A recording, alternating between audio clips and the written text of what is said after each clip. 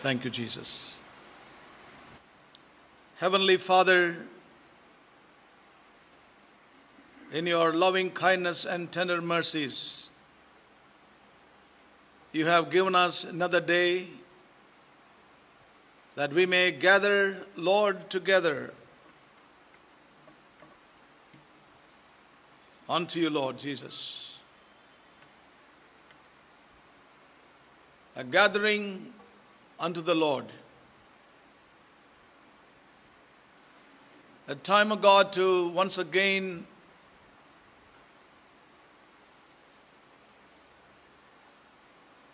gather together with one desire, and that is to worship and meet the living God.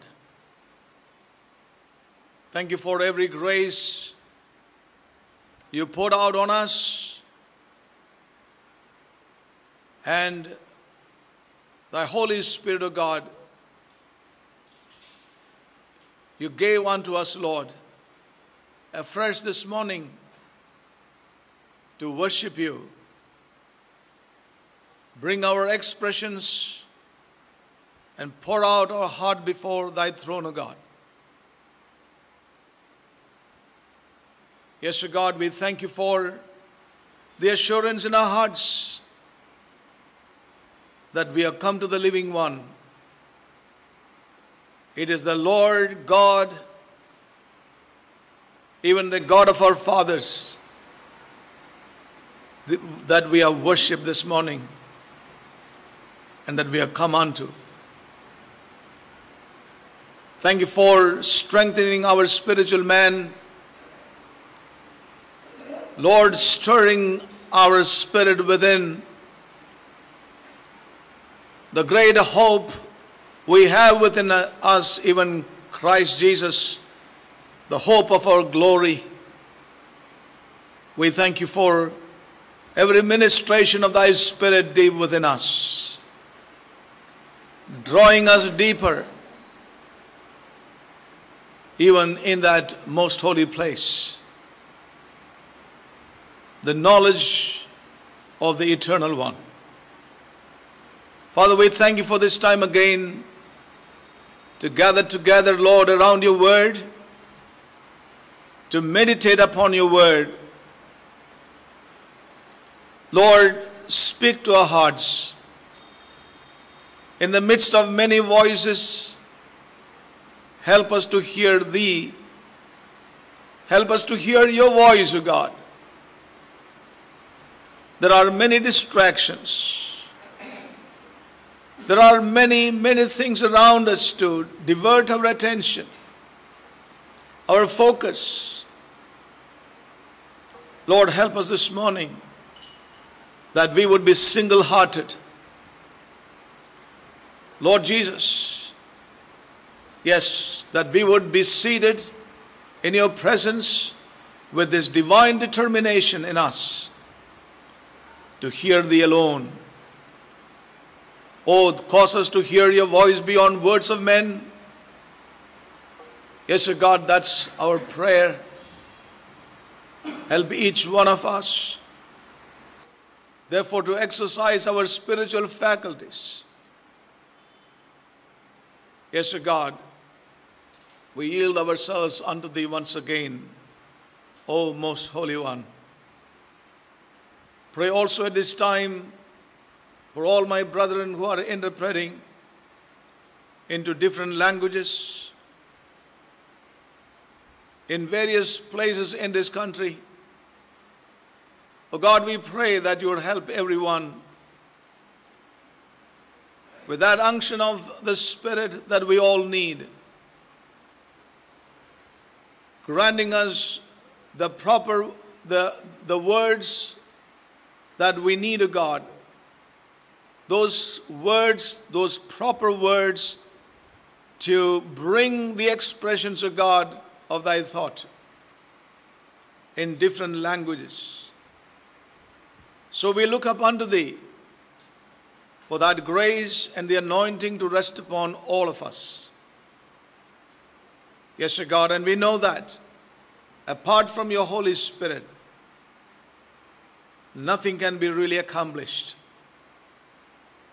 Lord, therefore we pray that the Spirit of truth may rest upon us.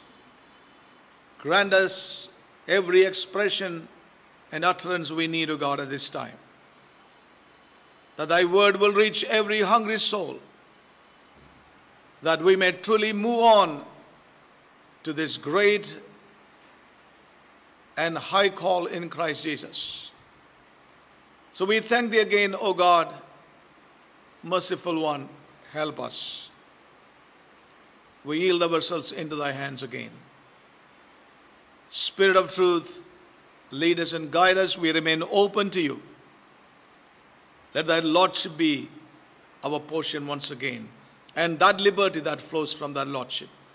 Worship and bow before thee once again. And in Jesus' most precious and matchless name we pray. Amen.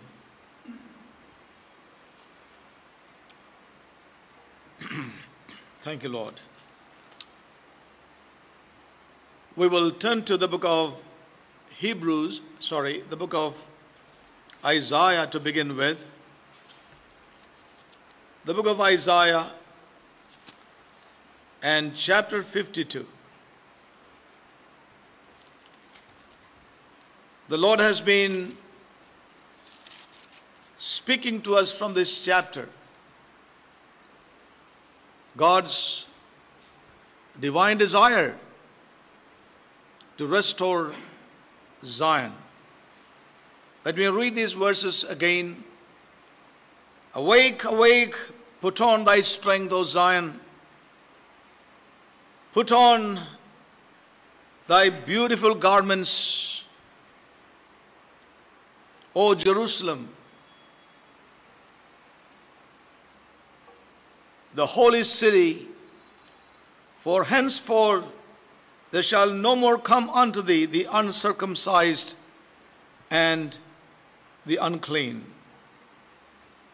Shake thyself from the dust, rise and sit down, O Jerusalem. Loose thyself from the bands of thy neck, O Jerusalem. O captive daughter of Zion, sorry. For thus saith the Lord, Ye have sold yourselves for naught, and ye shall be redeemed without money. The Lord has been speaking to us and making one thing very clear that God will restore Zion. The Lord will bring Zion into that full expression. The Lord will bring His church into that fullness in Christ Jesus. As we heard, the time for God to restore His people, to restore the testimony of Christ, to bring His church into the fullness in Christ, the time is come there is every indication that the Lord will set her free from everything that is binding her.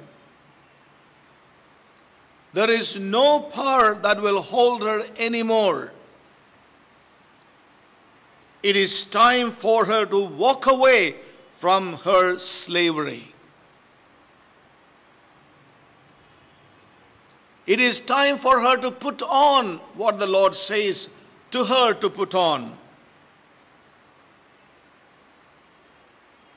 It is time for her to return to her rightful place with Christ and to be seated on the throne with Him. Overcome even as I overcame. So we see the divine invitation of God, prophetically reflected in these verses in the book of Isaiah, wherein he says, Shake off the dust, rise, and sit down on that throne. Now, as we heard, to come into that realm, you know, it is necessary that God's people come into the realm of faith and obedience. And the Lord has been speaking to us. The great need for the church of Jesus Christ, for God's people to come into the true faith. Jesus Christ Himself said, When the Son of Man would come back, will He find the faith? The Apostle Paul, while writing to Timothy, he said, Many shall depart from the faith. You know, so we see that in the end times, one of the things that would be needed by the true church of Jesus Christ will be the true faith. As we heard in our previous meditations, as we heard in our previous meditations, the important thing here is that we should have that faith that pleases God. That pleases God. And that's what we have been seeing from the book of Hebrews and chapter 11. I do not know if I'm going very fast. I am? Okay. Because our brethren have to translate. So, faith that pleases God. You know, today we see people talk about uh, faith, preachers who talk about faith, but that faith is something that pleases man pleases the self. They ask God for this, they ask God for that, they ask God for miracles, they ask for wonders, they ask God to do a certain thing.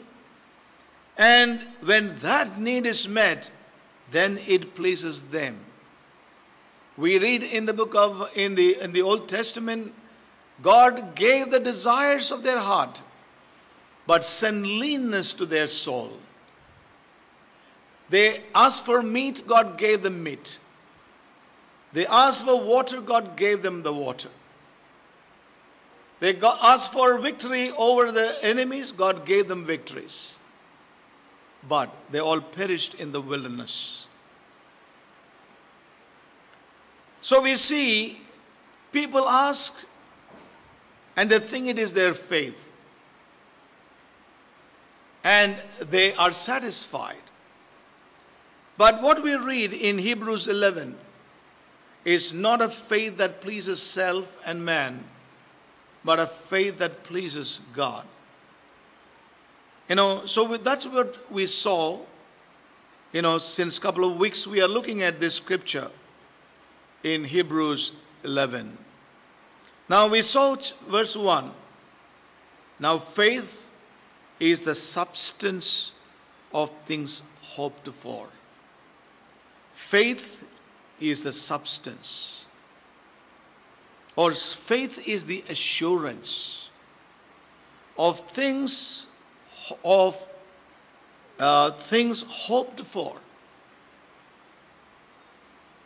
and proving of things not seen proving of things not seen. Now we thank God for many wonderful things, thoughts we could receive from God's Word. We saw that all these men come under a great divine influence. And we saw that that divine influence was the assurance in their hearts. And we saw very clearly what was that assurance. That was God's revealed will for their life, for their time.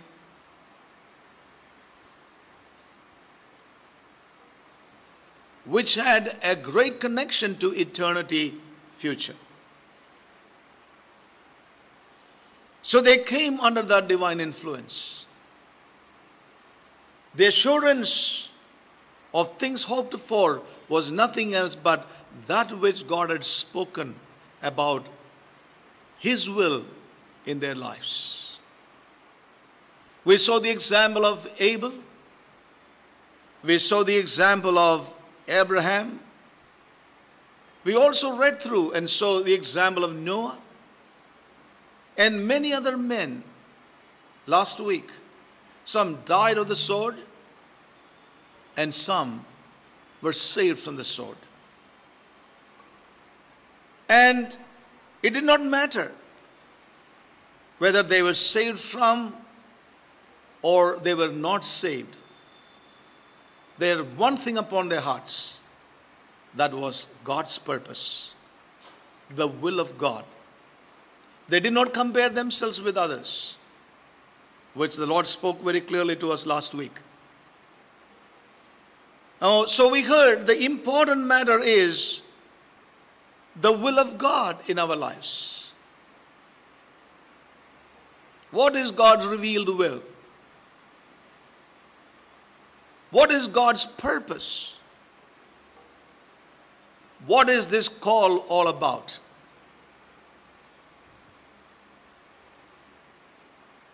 And I would like to say that unless we know the will of God, we have no assurance.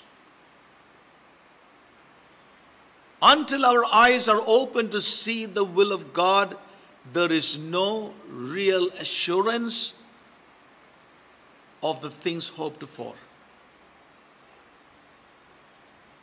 So, you know, so we have no assurance until we know the will, until we know the purpose, until we know what this call is. And this, therefore, becomes the ground of my faith and your faith. So, this is very important. That's what we see in the life of all these men.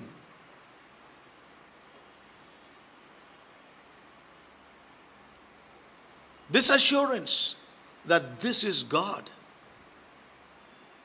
this is not of me.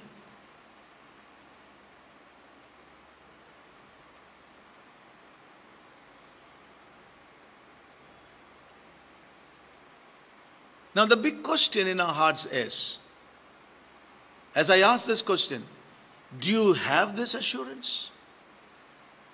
Many a time we ask the people, do you have the assurance of salvation before they are baptized? This is a question that I always ask. Do you have the assurance that you are born again? And even so, I want to ask us today do you have the assurance of what God's will is in saving you, in bringing you into this great salvation. And that is something we must answer and say, This is God.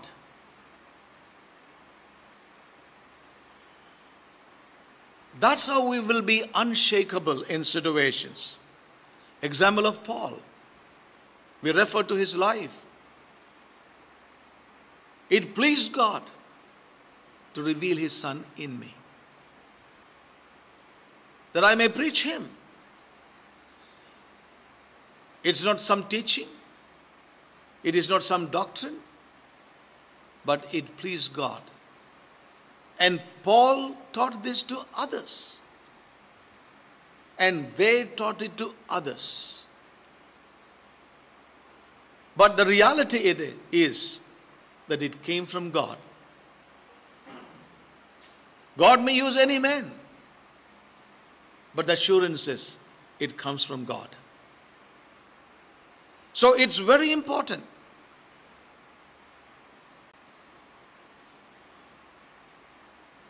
You know, there are people who say, oh, this is GSF teaching. This is GSF thing. This is what this group is teaching. I want to challenge those people in the name of the Lord. Be open hearted and turn to God's word. We have nothing to declare other than what is written in God's word. Our pursuit is after God Himself.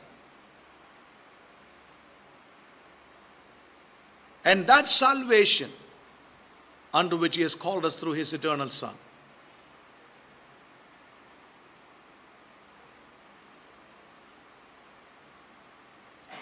So it's not a matter of a fancy doctrine that we want to follow. A kind of doctrine that we have majored on. And we feel that we are the sole proper uh, people who will propagate that. So, brothers and sisters, listen carefully. As we heard, we must know that this is God. There must be a revelation by the Holy Spirit. Just as, as Abraham heard, the God of glory appeared to him. Abel had a great inner witness of what he was doing. because he heard the whisperings of God within him.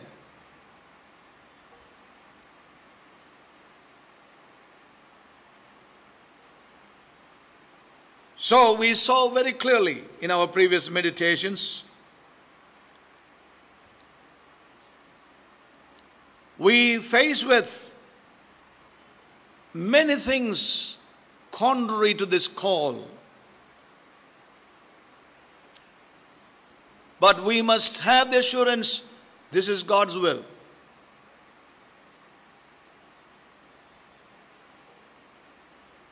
If this is God's will, why? Why things are not visible? Why everything is contradicting this call? And as I said, everything will be to make this call unreal and impossible.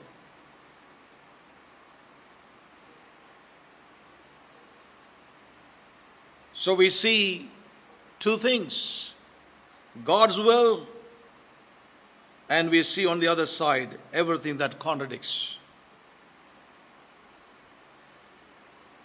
You know, and it's my prayer that God will help all of us. We heard last week very clearly from the life of Abel and from the life of Abraham. I want to say one thing here very clearly. You know, we must not miss the burden of the Holy Spirit in all that we hear.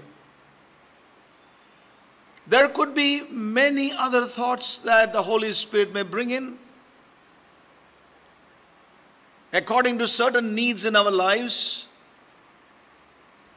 But the main thrust and burden of the Holy Spirit we shouldn't miss.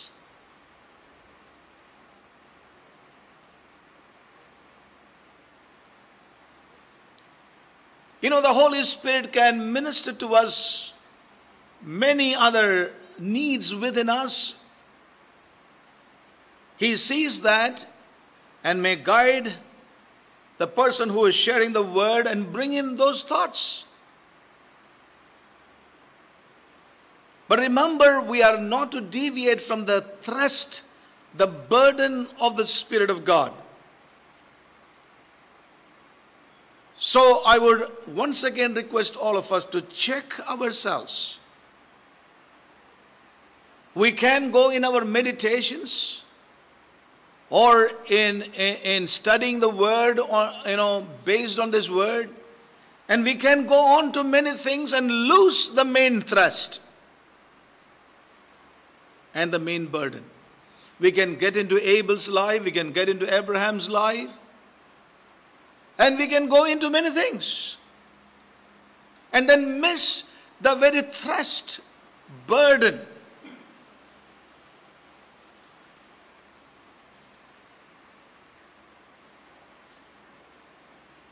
Now, as we heard last week,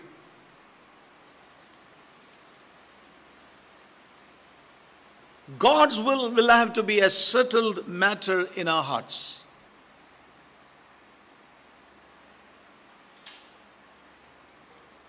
You know, and that's one thing. Am I there as the Spirit is burdened and speaking to me?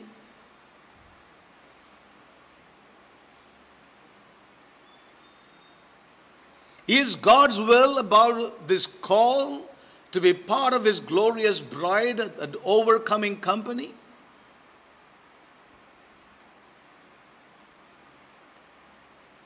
Is that God's will in my life? Is that a subtle thing in my heart? This is the issue, brothers and sisters. And that that's a subtle matter, I have no doubt.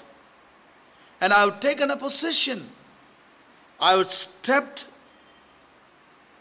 into that ground I'll come into that ground of God's will, that place that represents God's will. I've come into the body of Christ. I've come into this company of people who are following after, as Paul says, leave these things and pursue after righteousness, godliness, together with those who follow after. So I have taken that position. I've come into the company of those people who are pursuing after it. And after having come to that position, after having come to that place where you said, The world is nothing to me, my future is not what I'm concerned about. What God would give me, I will be happy with. You have taken that position. You have come to that ground.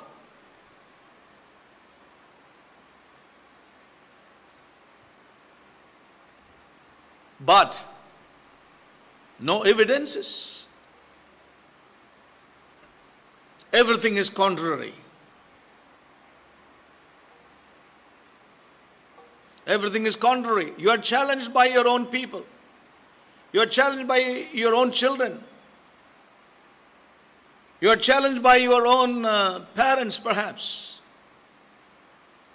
Challenged by your family members. You talk about it. But we don't see anything in your life. We are seeing things different. As we heard last week. When things go contrary in your life and mine, then what is our stand? How long it takes to settle this matter in our hearts? How long it takes to settle this will of God?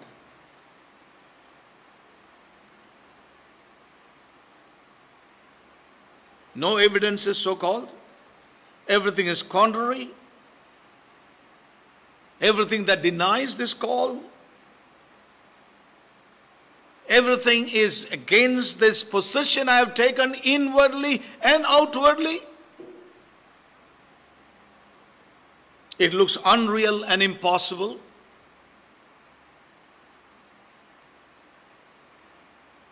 And everything argues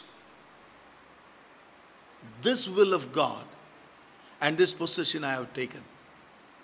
So I think I see this a great need as a great need in my own life. I know I've gone through it in the past, but that's not enough.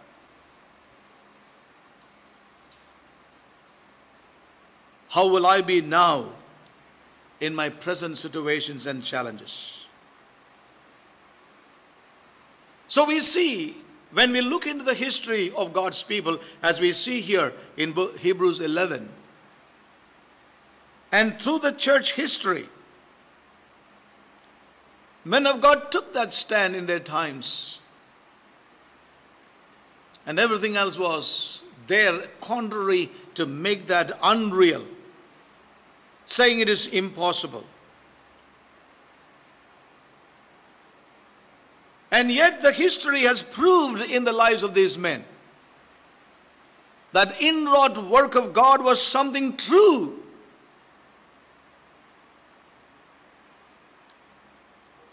And everything that said stood contrary was something that passed away as unreal.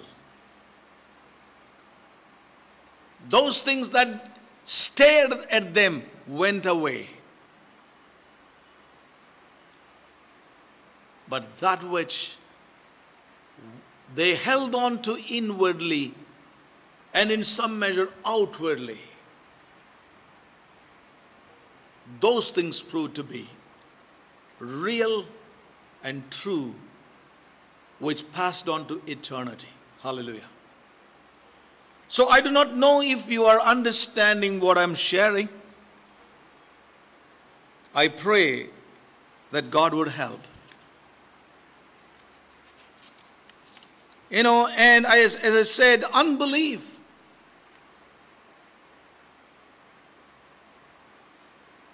Is something that will take us away from this call. As we saw from the life of the children of Israel,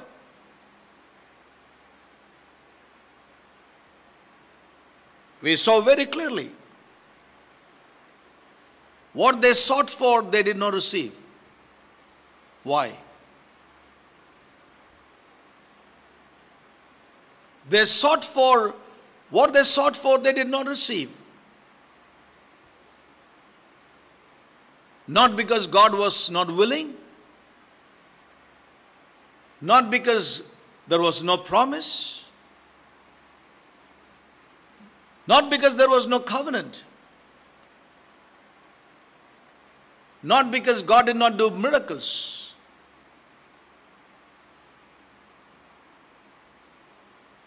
But because of one thing. We saw that because of unbelief, because they had no faith.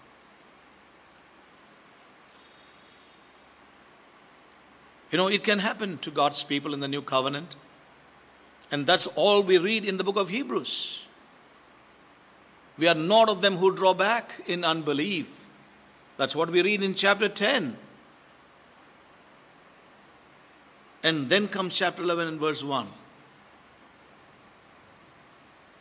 So, my dear brothers and sisters, here is a word for our times, for us, for this present day in which we are living. Oh, may God help us, is my humble prayer. Now, let's go on today once again, and may the Lord lead us, is my prayer. So, we heard the real issue is bound up with the will of God.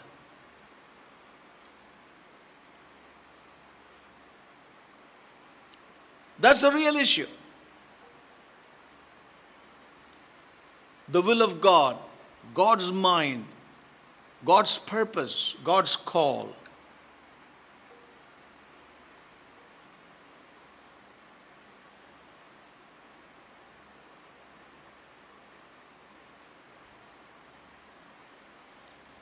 Now, as we heard a while back, the evidences, things around, things in our own lives, they seem to prove that this is not God's will. Listen carefully.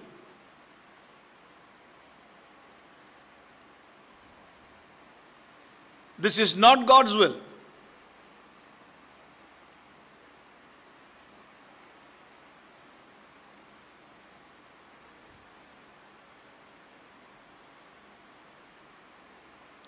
When we look at the lives of these men, This is what they faced.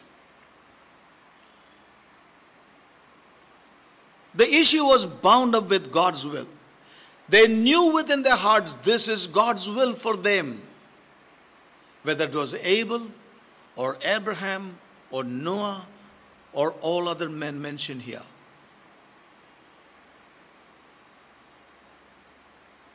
But the evidences are always to say this is not God's will.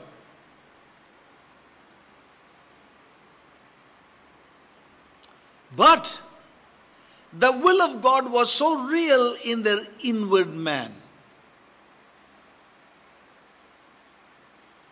You know, sometimes you may think like these are mere repetitions. No, it is not. That's because you are hearing certain words. But listen carefully.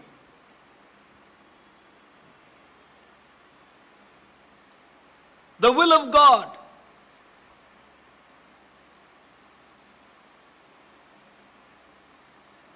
they are assured of. That is assurance. But that evidences are all contrary, negative. But the will of God was so real in their inward man.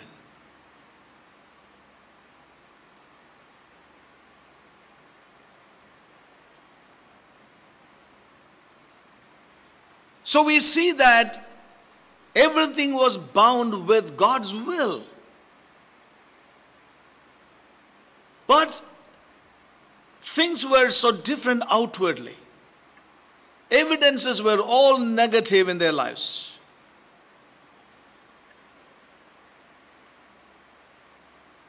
And I would like to go a little more deeper into this today.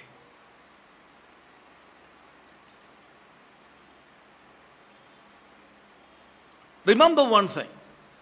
I want to make this very clear right now. The first thing is the will of God is bound with God Himself.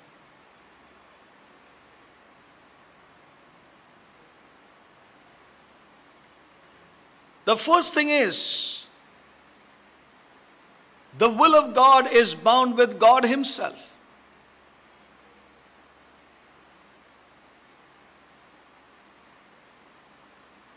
Now, this was the victory in the life of these men. They involved God Himself in their lives. Hallelujah. Now, how important it is for God's people, His remnant church in these end times. When we are faced with the world, when we are faced with Satan, when we are faced with an easygoing Christianity, how important it is to have this assurance, this will of God, this call of God, this purpose of God is bound with God Himself. Now it's easy to say this. It's easy to hear this. It's easy to then repeat or share it out in a gathering. But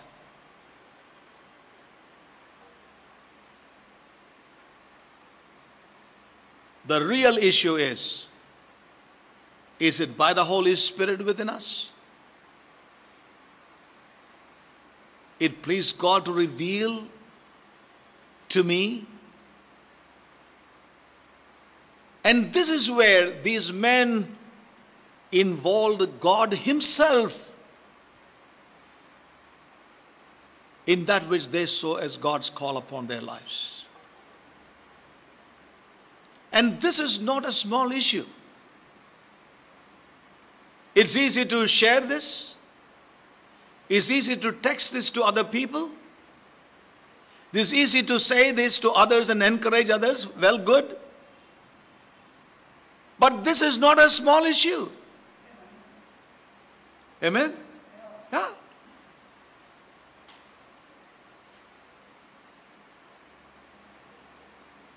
There's a new term everywhere we hear WhatsApp University. Now, there it's all very easy. But when it comes to real life, this is our calling. When we look at these men, they involved God. How far away we are. So that only tells us the great need in our lives. You know, it's easy for us, Lord, Lord, I will pray for faith in my life. I, I want faith, I want to trust God. But remember from where it will come.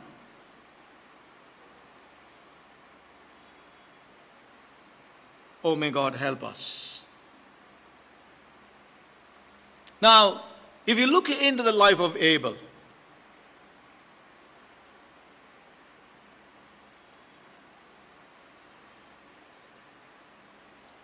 what made Abel to hang on this way of God?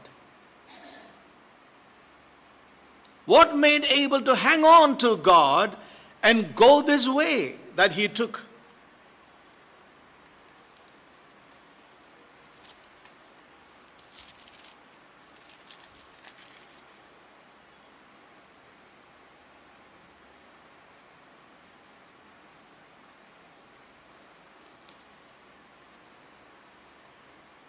Hallelujah.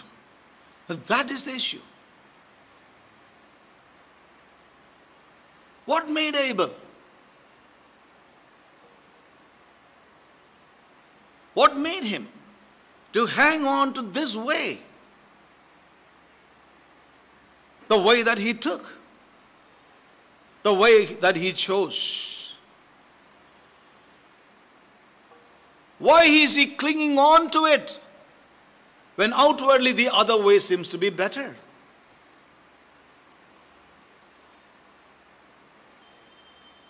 Why he believes so strongly that this is the way that he should take. Now, this is important.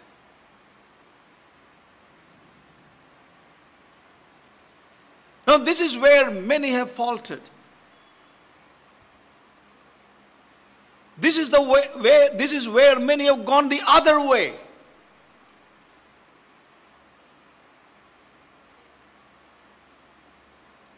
Oh, may God open our eyes of understanding, brothers and sisters. So, this call is bound with God Himself. And therefore, they involved God. And I see that great need in my own life in a greater measure in these days. And that is not a small issue. So, Abel you know, he was clinging on to God's way despite every other thing before him. He chooses this way. He clings to this way. He believes so strongly that this is the way and not Cain's way. Not Cain's way not Cain's way. What is involved in this is God Himself for him. And nothing less than God Himself. You know, you know, just a thought again, book of Jude and uh, verse 11. He says, Woe to them, for they have gone in the way of Cain.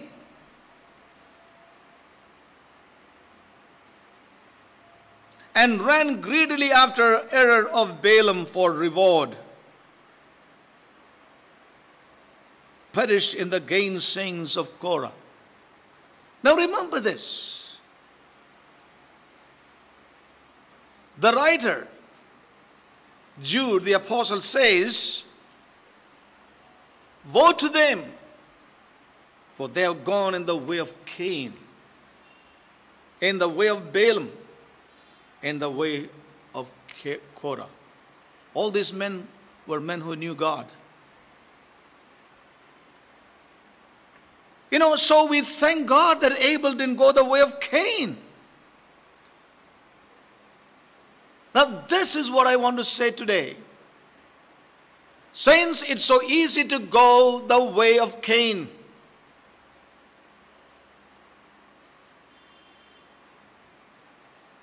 Offer to God what you feel right. Serve God the way you feel right. Live the way you think right. That's Cain's way. Cain's way was the way of the flesh, the way of the self that pleases, not in line with the whisperings of the Spirit within him. And as we heard, it was right for him. He brought the hard labor of his own ground, the fruit of the ground.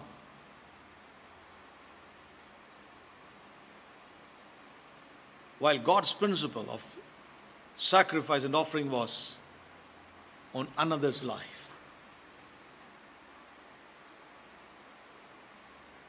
It was shedding of blood.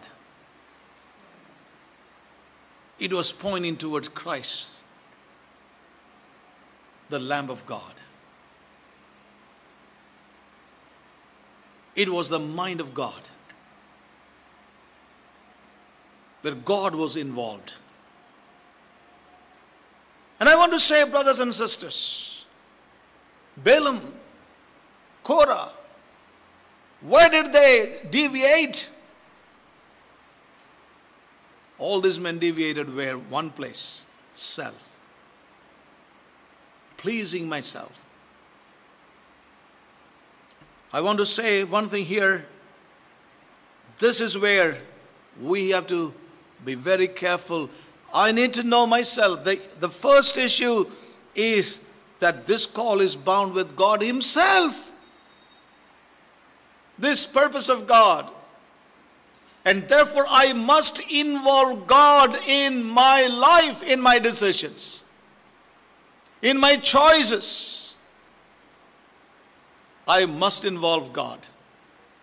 My young brothers and sisters, listen carefully. We are living in a time of many uncertainties. I was listening to someone yesterday.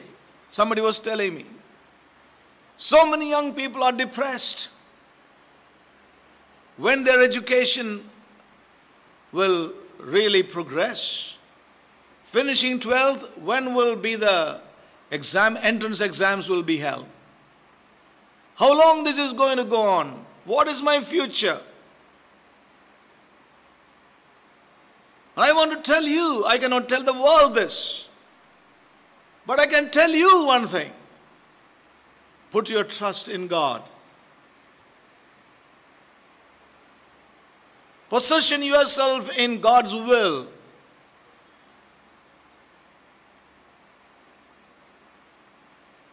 Trust in the Lord. I cannot give you any answers to this. But certainly, God, who is the Lord of your life, can give you that assurance within you.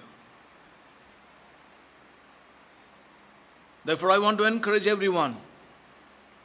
For Abel, his answer was nothing less than God Himself.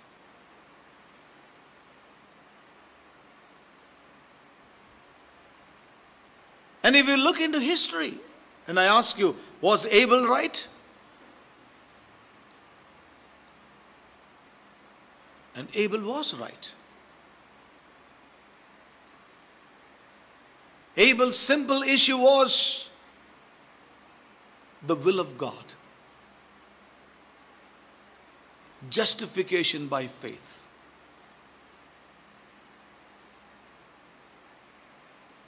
His simple assurance was this is God.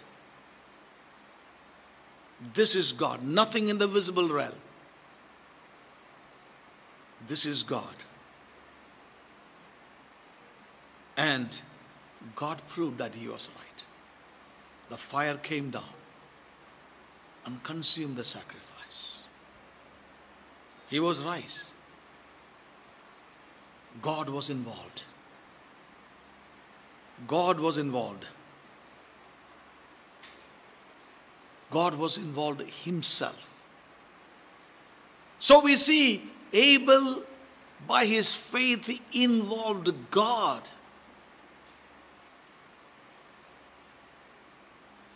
Nothing less than God Himself, even in your life and my life. In all our trials, in all our situations, I know how I am being tried in my own life, how I am being tested in my own life week after week.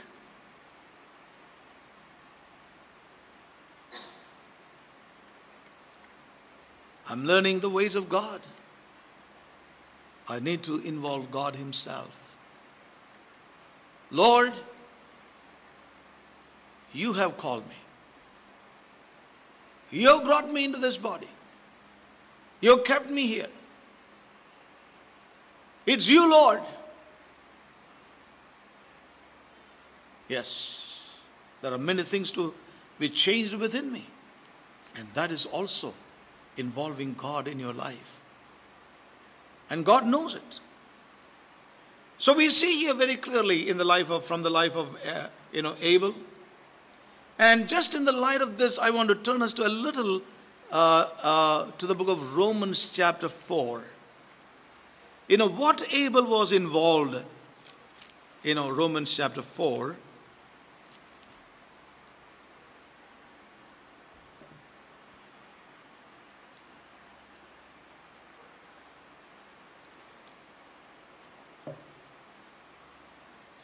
That chapter which we all know very well. Abraham justified by faith.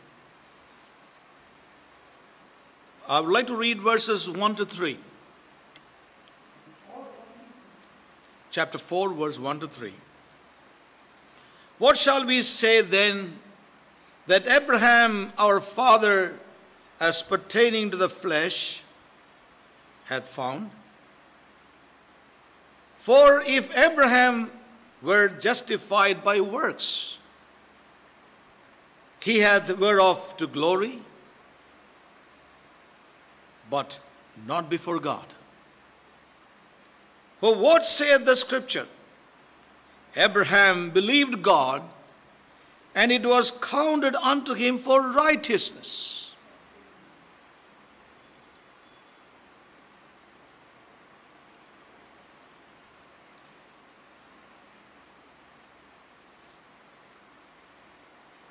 Now, again, chapter 5 and verse 1. Therefore, being justified by faith, we have peace with God through our Lord Jesus Christ.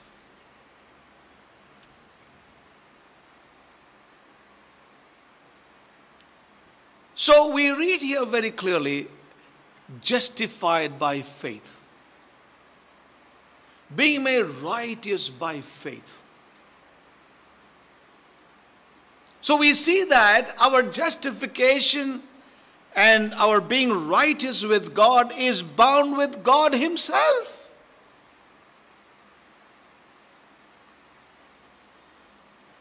Hallelujah. Justifying the ungodly. Amen. Abraham was ungodly, he was a heathen, idol worshipper.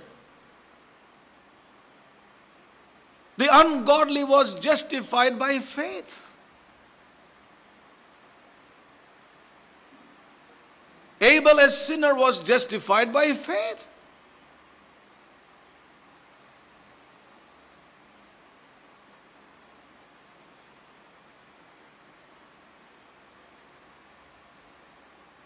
We know that every man born on this earth is without God. Everyone has lost their God. We are lost people in this, in this universe. We did not know the way. Now, when we look around in the earth today, look at the millions of people all around us. And what are they striving for? What do we see around today? They are striving for that place where they may be justified with God. Isn't it true? Look at every religion.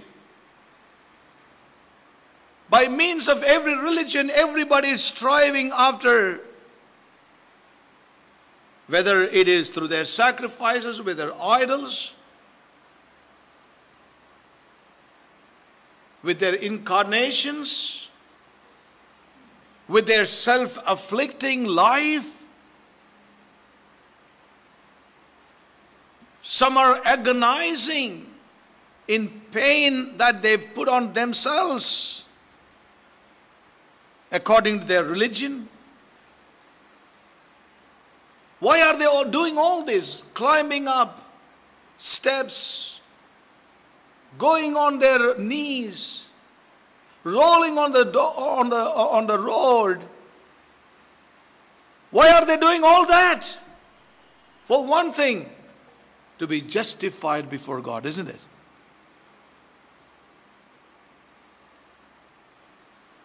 And where are they? Poor souls.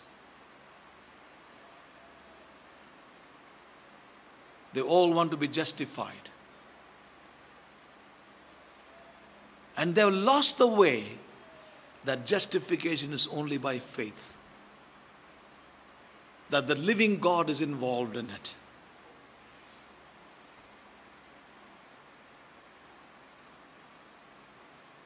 So we look at the world around today, even at this point of time, having come across the second wave and death everywhere, fear everywhere, bodies thrown everywhere, so many things happening everywhere.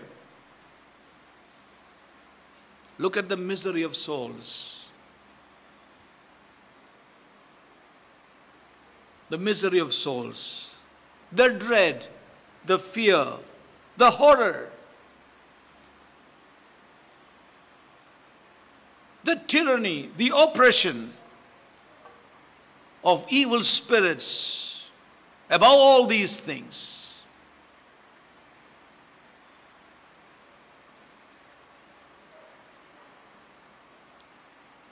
And we know that all these people have lost the way. What are they trying to do in whatever they do? Justification with God.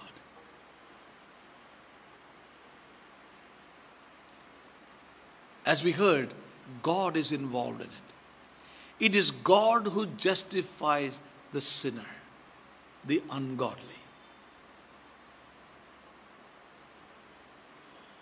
And if we don't get our feet on that rung, on that step of the ladder, we have no place to go. And we thank God for that. We are justified by the blood of Christ. We are justified through his death. Christ has come into our lives. The great assurance of salvation came to us. Amen. By the death and the resurrection of Christ. We are justified not by our works, but by God. Now remember that this was the assurance of Abel. This was also the assurance in the life of Abraham, just as we read.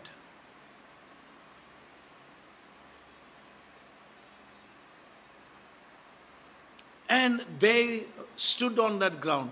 God is involved in this.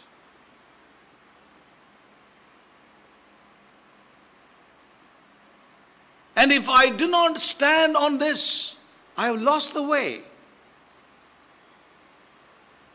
Now, the sad thing today we see in the contemporary Christianity is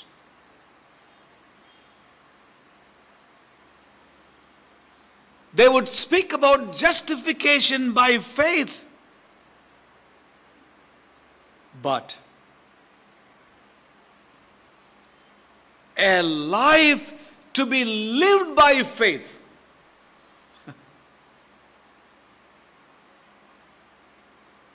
According to that plan of his salvation, that is rejected. I hope you understand what I'm saying. Assurance that we are saved by faith. It is through Christ's death we are saved. That assurance people talk about.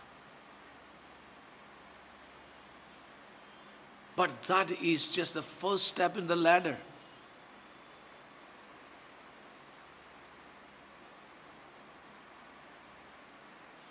Abraham believed God. That was counted to him for righteousness. But look at that life he lived thereafter. That people forget. I'm saved by faith. I'm saved by faith. Okay. Where is that life? In the assurance of that purpose unto which you have been saved.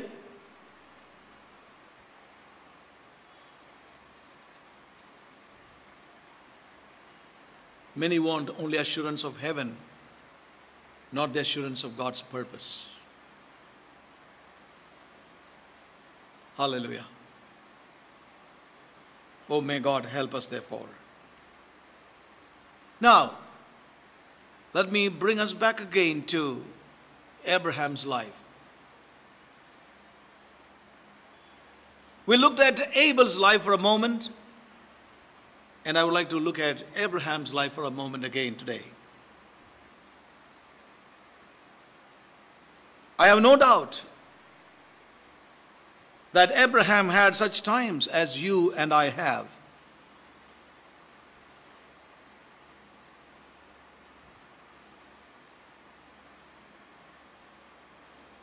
The promises, yes. The covenant, yes. But where is their fulfillment? Assurances, yes. But what is happening on the ground? Made heirs. Yes. But what we have got? You see, this is where, as I said, no doubt that we had such times as Abraham had in his own life.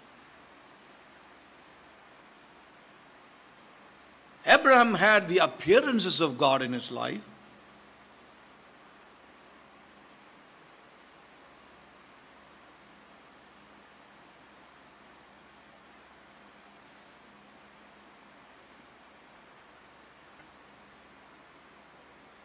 But this is what he went through.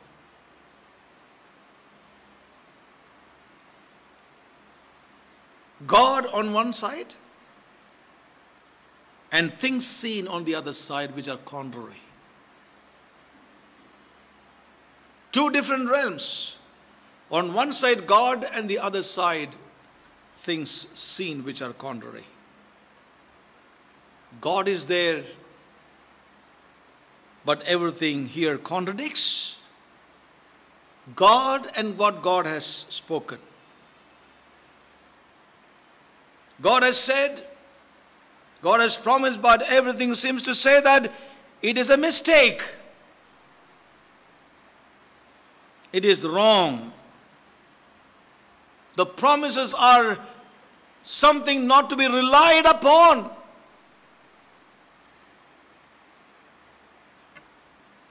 Now, these are things that Abraham faced in his own life.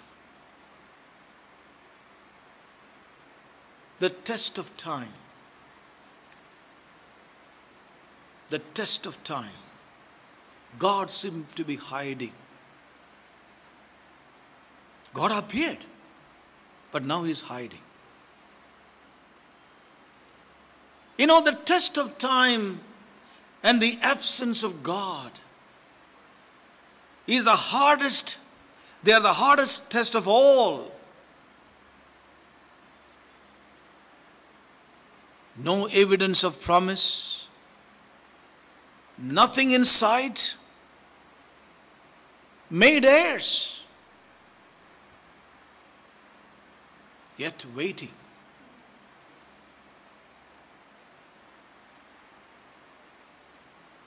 Yet to wait for the unseen.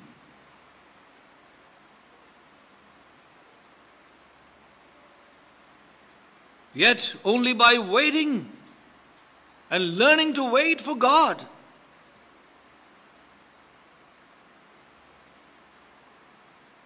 That's a hard thing.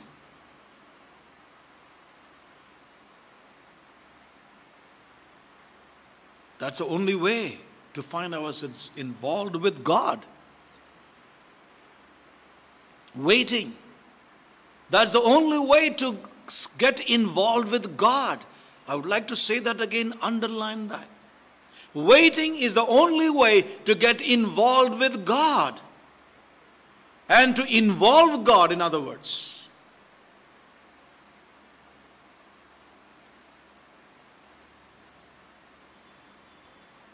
Ten years after he had believed God for a son, he waited for 10 years. And he believed God for a son. And then he came to a place. I'm not going into all the details, but then Abraham came into a place where he felt he could no longer wait.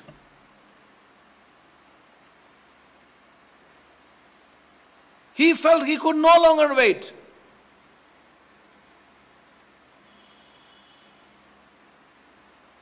He knew that God intended him to have an heir.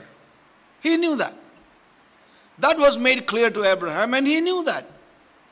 He was convicted, he was waiting on God, but nothing was happening, and the years were passing by, and he felt he could no longer wait. Now, therefore, Abraham sought to provide one for God. So Abraham sought to provide one. He sought to have an heir. He did it for God.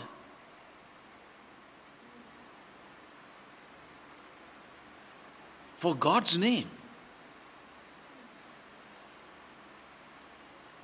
Now, in that which happened in the life of Abraham through Hagar, it was not Abraham's motive that was wrong, but his starting point. And what was that? He felt he could still do something to produce a child. That was where he was wrong. Not that he should have an heir. That he should have an heir is okay.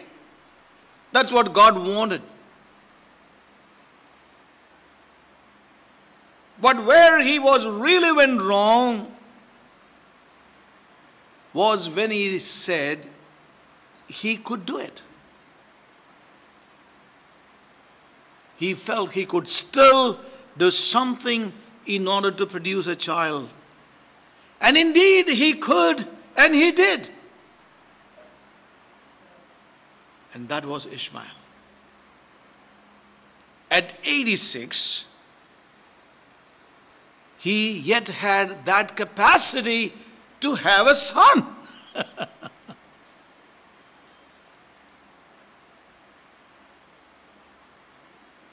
At 86.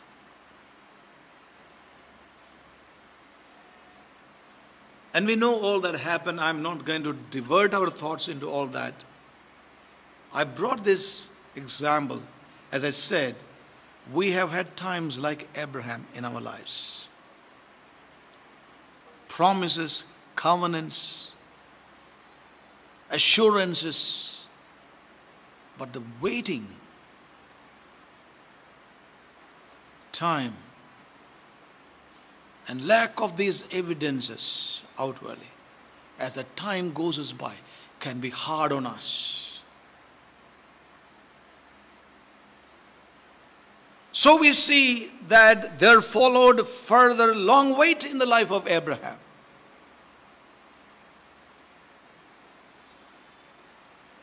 Until the age of 100.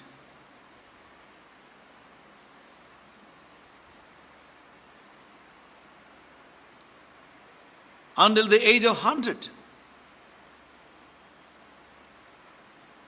When he could no longer do even this, what he did some years ago,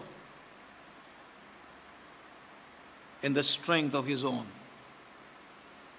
Turn with me to the book of Romans, chapter 4.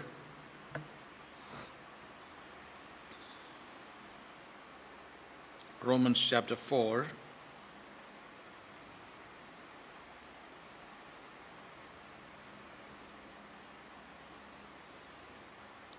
Verse 19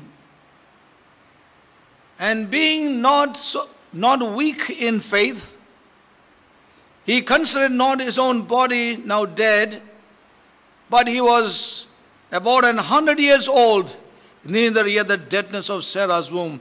He staggered not at the promises of god through unbelief but was strong in faith giving glory to god. Now let me read it from another translation to make it amply clear and Abraham's faith did not weaken, even though at about 100 years of age, he figured his body was as good as dead.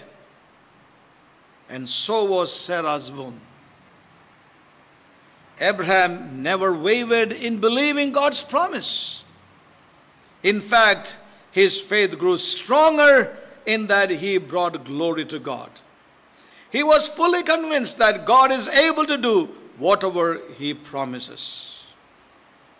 And because of Abraham's faith, God counted him as righteous. So, what we see here is God brought him to a place where he could no longer do what he did some years ago. A complete death to his flesh.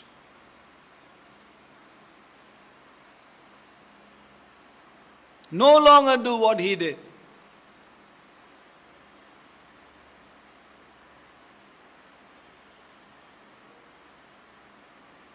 He figured his body was as good as dead. It was such a man. It was to such a man, a dead man, a powerless man now a dead man in himself, a powerless man in himself. God began to work. God began to work. And there, now he believes, I cannot, but you can. Hallelujah. Amen. What a place to come to. I cannot, but you can. Hallelujah. We haven't come there in many, many areas of our lives. There are some areas I cry out to God, Lord, I cannot, only you can. But there are some areas I'm not there.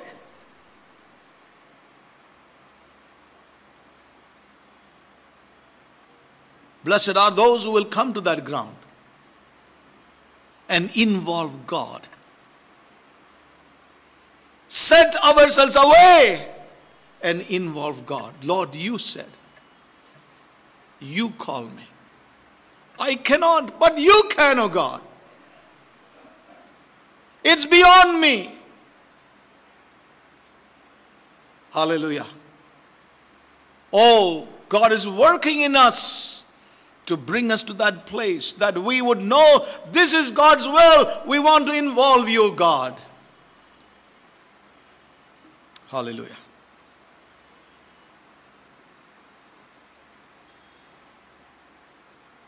That's the ground that he came to. Lord, I cannot. There was a time I could, and I did mistakes. Lord, you can. And it was this faith that helped him when he offered Isaac on the altar. Lord, you can. What an assurance with which he said to his son, God will provide. Hallelujah.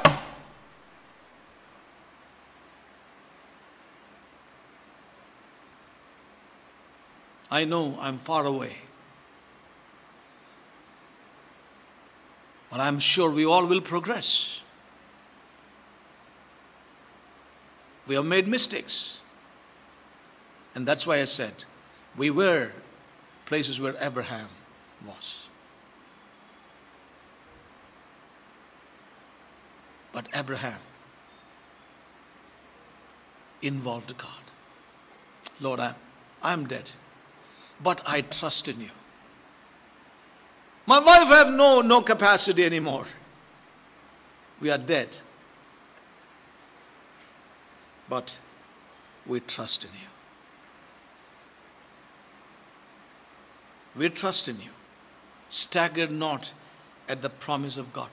Involved God. Did not involve himself anymore, but involved God being fully persuaded that God, that what He had promised, He was able to perform. Hallelujah.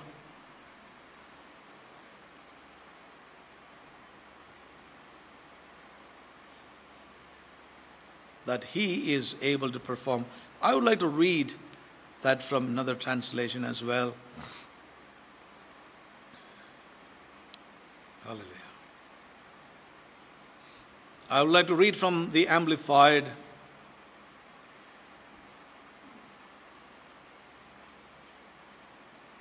No, verse 20 No unbelief or distress made him waver, doubtingly question concerning the promise of God. He wasn't there some time back, but now he is there. But he grew strong when? When the flesh was dead. But he grew strong and was empowered by faith as he gave praise and glory to God, fully satisfied and assured that God was able and mighty to keep his word and to do what he has promised. This is why his faith was credited to him as righteousness, right standing with God. Hallelujah how wonderful, how precious it is. Though I know that there is much to be done in my own life in this hour. The marvelous God was pleased with that faith. God was pleased with that faith. Hallelujah. And the marvelous gift of faith came in the person of Isaac. Hallelujah.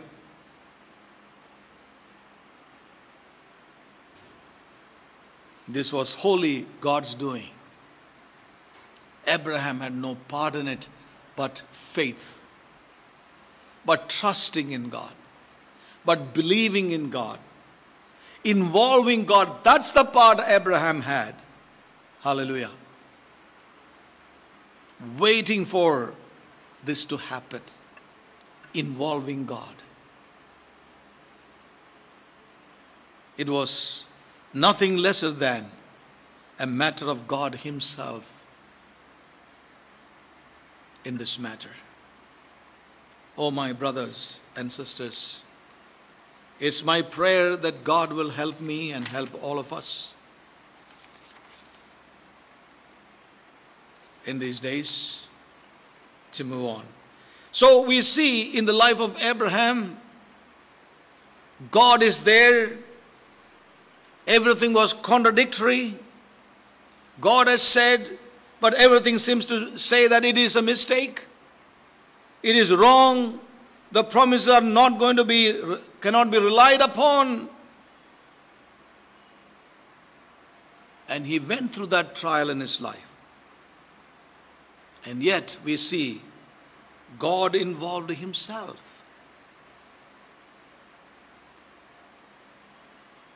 God involved himself. Abraham involved God. And these things were so real in the life of these men. It was a reality in their lives. It was God Himself, as we saw from Romans chapter 4. That was the issue for their faith. God was involved. Things not seen were so real. He was brought to that realm.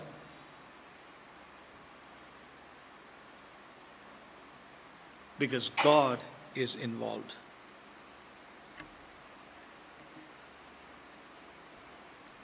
Beloved brothers and sisters,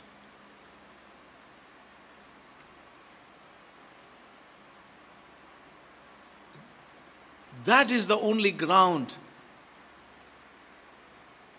that we can stand on. God is bound, God has bound Himself with His will. God has bound Himself with His will. This call, this purpose.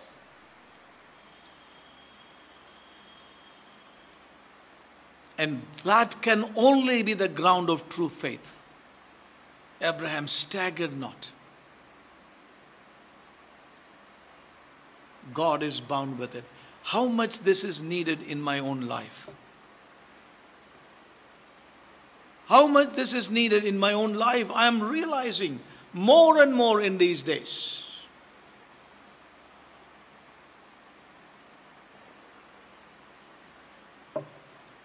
As fresh challenges come before me,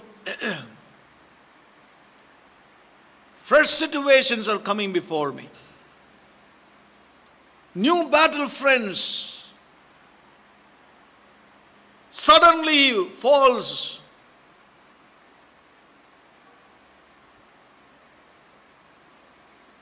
But I know one thing God is helping me to learn this. God is bound with this call. And let me tell you one thing and warn us. If you have put faith in things, if you have put faith in things, if you have put your faith in men, you are going to have a hard time. I want to warn us, forewarn us about it. you are going to have a hard time. And I've seen that. People have been part of this local church and the body of Christ in other places. They're coming, they confess things, but their faith was not in the Lord and this call. The ground was not God's purpose.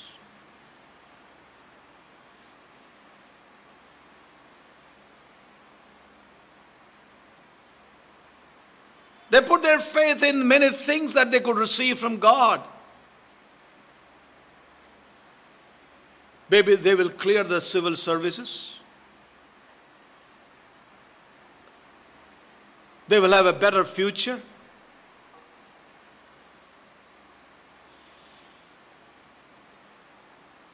Want to say that we are not to put our, our, our faith even in other people in the house of God. We thank God for the brothers and sisters. But our primary trust has to be in the Lord, faith in Him, and then in others. That's very important. What I would like to say here is the only ground is God. The only ground is God. Now, Abraham God is heir, the heir of the promise. Isaac is now everything to Abraham. But God wanted to see in Abraham's life if God is still the ground or not.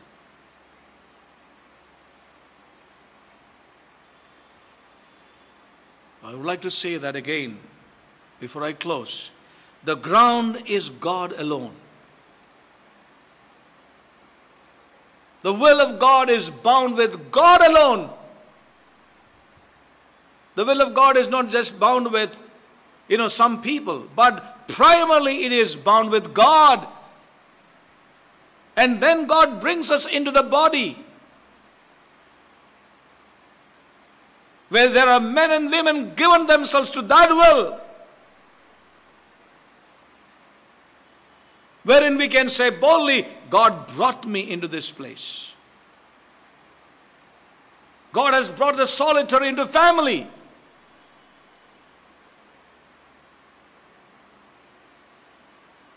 And it is here I need to grow together with the brethren, as Paul says, into all the fullness in Christ Jesus. Hallelujah. How important it is God. It is His will. That is the ground. The ground, the only ground is God. God is the ground of faith.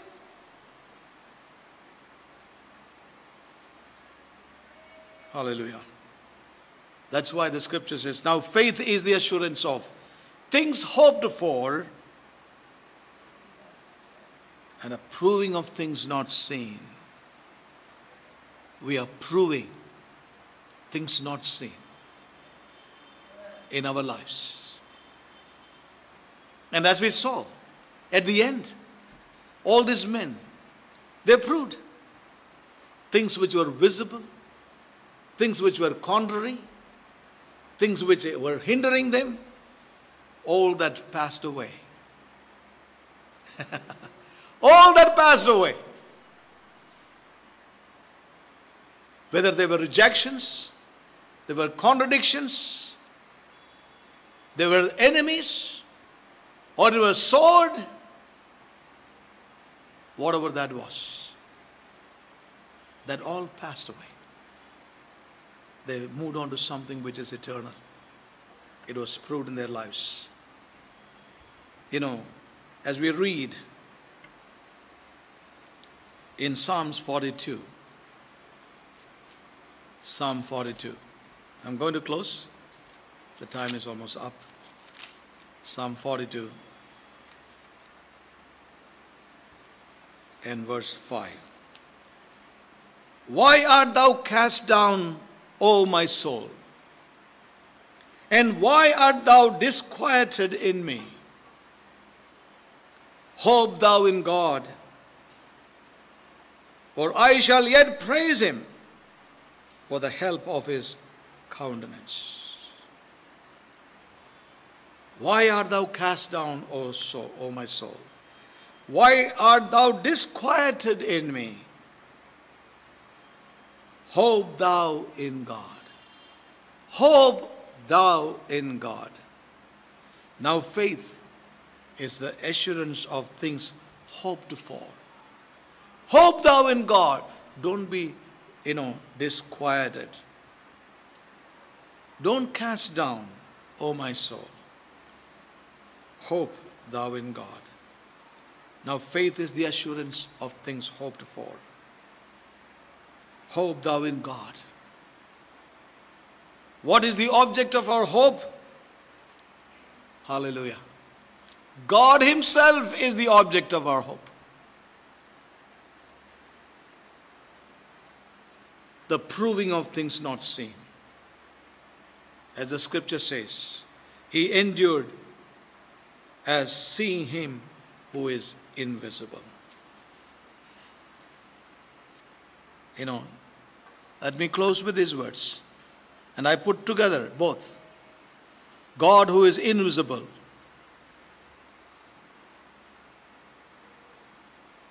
and things not seen. Which are the assurance of things not seen. May God help us. Let's look unto the one who is invisible. Let's involve God. Oh, may God help us. The will of God is bound with God Himself. God Himself. Let's take that into our heart today. And I will close here. May God help all of us. Dear brothers and sisters, as I said, don't miss the burden and the thrust of the Holy Spirit. There are many things we have heard, but don't miss that. Is my prayer as we close. Shall we all stand up in His presence? Let us return thanks to God and thank.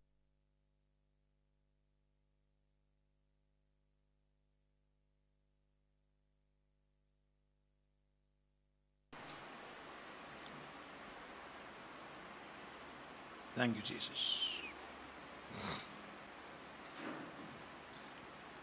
Hallelujah, Lord Jesus. Oh, Thank you, Father. Bless your name, Lord. Just a few moments.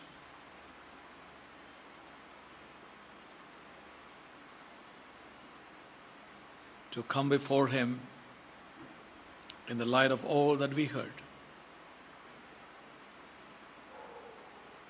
Thank you, Jesus. Hallelujah. Thank you, Jesus. Hallelujah, Lord. Thank you, Jesus. Merciful Father, we thank you for causing us to hear your voice once again today, Lord.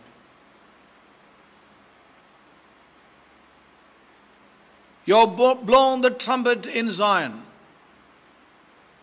loud and clear, O God. The daughters of Zion may rise from their slumber. Shake off every dust. Arise in faith and obey your voice. And come into that place where you are calling her in these days. Lord, we thank you for speaking to our hearts again. That faith that pleases God. Oh God, help us. Lord, we thank you for all that you have spoken, even today, Lord. The assurance is your will, O God. And that will of thine is bound with yourself. None other than yourself, O God. Hallelujah. O Ramakaya Shaka. Lord, it's my prayer even this afternoon that everyone who would hear this word today may be brought under the conviction of thy word by the power of thy Spirit, of God.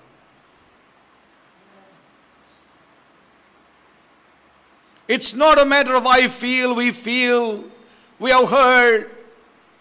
Oh God, deliver us from all those and bring us into the conviction, the grip of Thy Word, God. Jesus, your will, wherein you are involving yourself.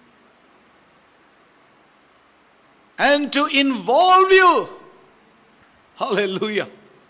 Oh God, help me. Many have gone the way of Cain, the way of Balaam, and even the way, way of Korah. So easy to walk that way of Cain.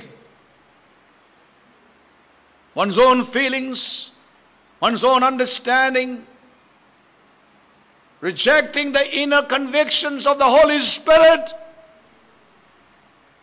But Abel did cling to the way. That way he did not forsake. Though many other things were convincing to the natural man. He rejected the way of Cain. Hallelujah. How he was justified. Yes, O God. Help me, Lord. Help me, O God. How easy to go by the way of Cain and even Korah and even Balaam. Father, help me that I would involve you Thank you for all that you have spoken, Lord. Millions of people in the earth today, everything that they do is just for one thing to justify, to be justified with God. Lord, it's your mercy that you justify the ungodly. And thank you for the day that you justified me in your Son. But Lord, help me to understand that this is only just the lowest of the rung. Oh God, and there's much more to move on to. The just shall live by faith, and he shall move from faith to faith. Oh my God. Oh God, while many reject that today, Lord, help me, oh God, to trust in you that you would bring us into that full salvation. Yes, sir, God, by your work in our lives. Thank you, Father, for speaking from the life of Abraham as well. Oh God, oh God, oh God.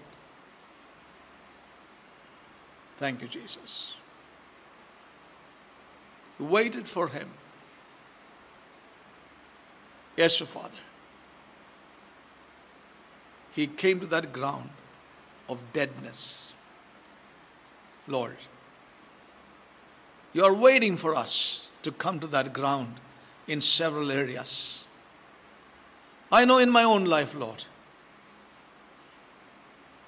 And I know each one who is hearing thy voice today would know in their own lives where we have still strength to do things where we would not involve you fully. We will take your name, but many a time we are involved. But Lord, you are zealous for that which you build. You build it by your strength. I will build my church. You are zealous over your glorious bride. Yes, your God. Lord, there is so much there. Holy Spirit, help us, bring us, Lord, to that ground and help us to realize, Lord, this is what you are looking for. The will of your purpose, this calling, it involves yourself, Lord. It involves yourselves, yourself, yourself, oh God and help us to involve you in all our situations.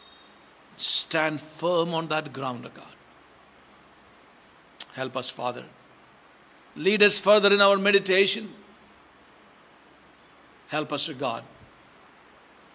And lead us in this meditation even coming week is our humble prayer.